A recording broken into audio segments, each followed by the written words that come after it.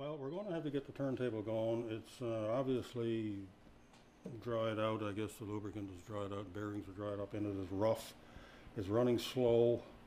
It has all the typical indications of uh, just not being used a lot over a number of years.